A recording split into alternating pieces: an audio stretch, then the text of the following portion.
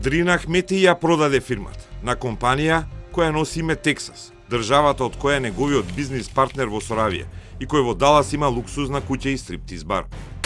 Дјаволот носи дизел и нафта. Од неготино е и најпознат повратник со измама по модел помалку точи, повеќе наплатува.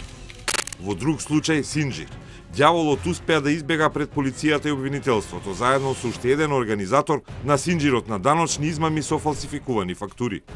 За штета од 8 милиони евра поднесено обвинение против 22 луѓе.